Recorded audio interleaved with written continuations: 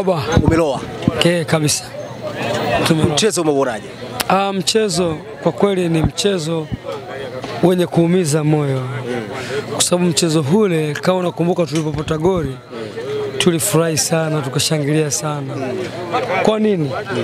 Goli kama goli unapopata wewe mchezaji ama mshabiki, timu yako unapata goli, wewe unapata furaha kwa goli kama goli, lakini sio tu kushe- kushe- kusherekea furaha tu ya goli, tulikuwa na dalili za kupata ubingwa Lakini haikuwezekana. lakini haikuwa hivyo.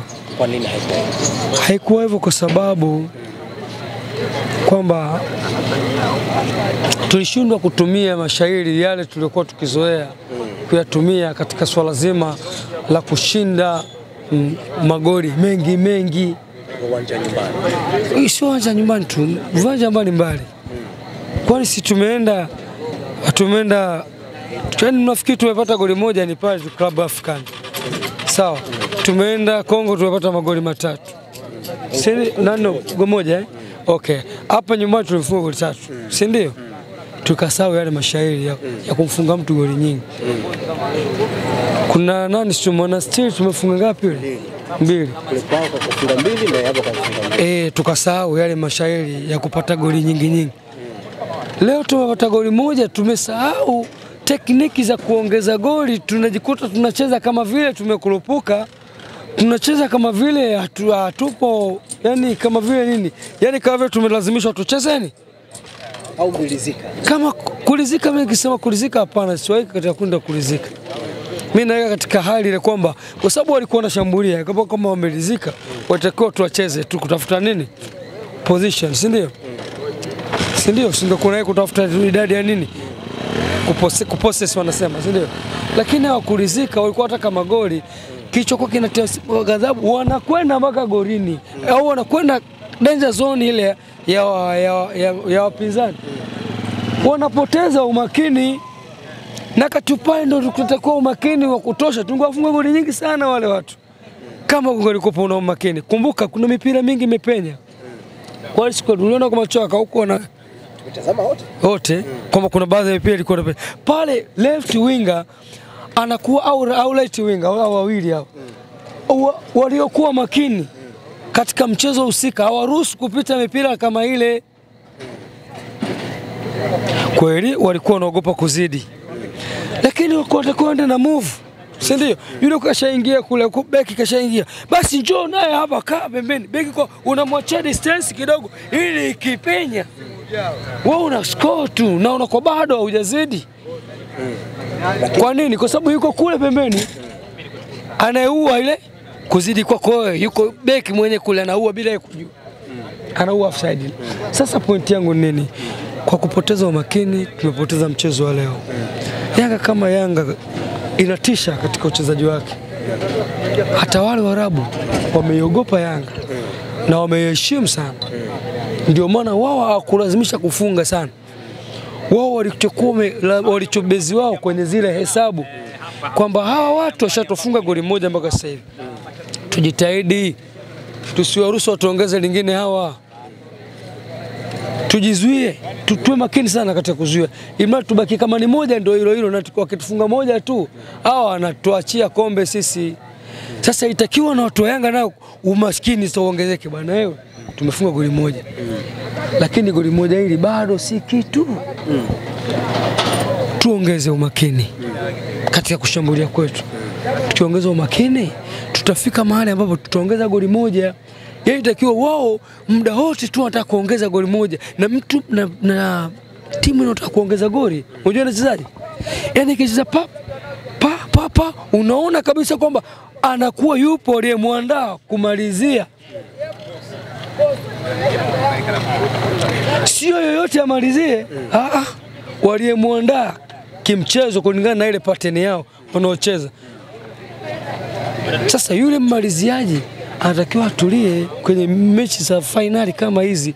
Kwa Yanga Afrika, mi naamini hii fainali hii tumeingia, hatutaisha hivyo.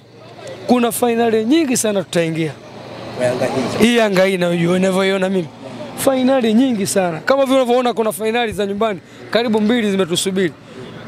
Kuna moja tumeikausha hivi karibuni pale na Dodoma Jiji, si ndio? Fainali nyingine yatusubiri wapi? Kwa Tanga. Tanga. Yaani fainali ni nyingi sana tukijipanga vizuri, na hii ya shirikisho kwa sababu tushaionja mwakani. Tukijipanga vizuri, sio shirikisho tena, klabu bingwa, kwa sababu mbinu za zilizotufanya tuteleze kuiacha klabu bingwa tukawachia wenzetu, sisi tukarudi nyuma, zile mbinu tushazisoma, hatutakubali tena tupoteze. Una cha kumdai kocha Nabi? Ah, kocha Nabi nampongeza kwa nafasi yake kama kocha ameiweka timu katika sura nyingine. Sasa hivi timu inasomeka kama ni timu ambaye katika fainali za kombe la shirikisho la Afrika, moja katika timu hizo ni Yanga Afrika.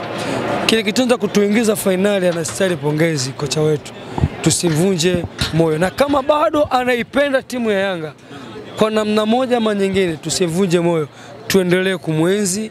Mwakani sio mbali tena, ligi zitaanza kufunguliwa mwezi wa nane, anaweza akafanya makubwa zaidi kuliko haya. Kama tutamwamini tena na kumpa majukumu, tusimtie dosari. Kesho kuja kuipokea Yanga, uko radhi kwa kuwapa maua yao kile ambacho walichokifanya kule Algeria? Ah, wanastahili kwa kupewa pongezi, ila kulaumiwa pia wanastahili, kama hivi nilivyoanza kulaumu mimi, kwa sababu mchezo wa leo mimi nikiuangalia kimathematiki, huu mchezo wa Yanga alikuwa atakiwa awe bingwa, yaani zile hesabu za kimichezo. Yanga unakwenda uko ugenini, unaekwenda kucheza naye kakufunga goli mbili nyumbani, wewe ukapata goli moja. Unaekwenda kucheza naye umepata goli moja kwake, kipindi cha kwanza, dakika za mwanzo mwanzo pale. Kama ndio mimi ni niko katika safu ya mafuadi, yani nitajia- nitaja- nitafanya kila niwezavyo katika kile kipindi cha kwanza kile, nihakikishe tunafunga lingine. Mpira umecheza? Mimi mpira nimecheza ndugu yangu. Mimi namba kumi na moja, namba kumi, nacheza namba tisa. Eh, Nizi namba kuna kipindi tutaanza kutoa, mtaanza kuona makrip inahusiana na masuala ya performance yangu ya, ya kimpira. Sasa hivi mimi bwana, kwa kweli sikupata bahati ya kuchezea timu kubwa, kwa sababu zamani kulikuwa na ule uadui kwamba ah, huyu naye akiinuka huyu sisi wengine tunaonekana si kitu, basi wakafanya kila walichoweza ili mimi nisiinuke, lakini performance yangu ilikuwa nzuri. Siku moja nilikutana na mtoto wa dadangu mmoja kwa kule Mabibo kule, yule bwana ni mtoto wa Godi ambaye shemeji yangu, na umepata bahati alimezana na dadangu anaitwa Pili. Unajua kwa majina wanawake tena kuchukua majina majina umezao ni kitu cha kawaida. Yule Pili anaitwa Pili Godi, na kati yeye huyo Godi ni mumewe ambaye kwa sasa ni marhumu, namzungumzia kwa heri. Basi yule mmoja katika watoto wake waliozaa dadangu ni mwanajeshi, akanambiaje mjomba bado naendelea mpira? Ngamba "Ah, mjomba, mimi siende mpira. Mimi mjomba anajua kwa najua sasa uko Yanga, akajua jinsi nilivyokuwa naipenda Yanga au alivyo nijua uko Yanga, moyo kafanya pa nikapiga picha kile kiwango nilichokuwa nacho, nikasema kweli nitakuwa ni Yanga. Sema tu najua figi Swiss hazikuanza leo, zimeanza muda mrefu. Kwa hiyo kifupi, kama ninavyokuambia kwamba yani muda si mrefu, kwa siku za mbele utaanza kuona maklipu yangu ambayo yani kwa simu mbalimbali, kwa mitandao mbalimbali, yani kuonyeshwa kwamba nachezaje mpira katika swala zima la kushambulia, kulazimisha goli, kulazimisha faulo hizi. Morrison kile anachokifanya kama angalikuwa kila wakati akipata mpira anaingia ndani ya box, nakupa hiyo moja ya technique. Ndani ya box hapo pale, hatoi ule mpira haraka, pasi. Anapenya, akipenya tatu tu. Ndani ya tatu hizo lazima moja iwe penalti, kwa sababu Morrison anajua kutengeneza faulu. Hiyo ni moja ya sifa ya Morrison, wenyewe mliona akitengeneza faulu moja, lakini ni mbali na danger zone. Nataka niwaambie ndugu zangu wanahabari, mmejitahidi sana kurusha habari zetu. Dunia imetuona imetuelewa kwamba kuna wana, watu wa namna hii, lakini tunachosikitika kwamba wanahabari nyinyi, sometime nyinyi mnatu mnatunyima raha nyinyi mpaka mpate habari za kuumiza ndio mnatufuata. Habari za kufurahisha nyinyi hamtufuati mara kwa mara, mnatuacha kama tulivyo. Kwa nini? Kwa sababu unajua mtu akishaumia, unajua atalopoka tu wewe urushe habari upate pesa. Kwa mimi nikiropoka wakati mwingine natoka mchezoni. Rai yako nini? Eh? Yangu nasema mjitahidi sana, mtutafute kwa habari za furaha na kwa habari za maumivu. Shukrani. Asante.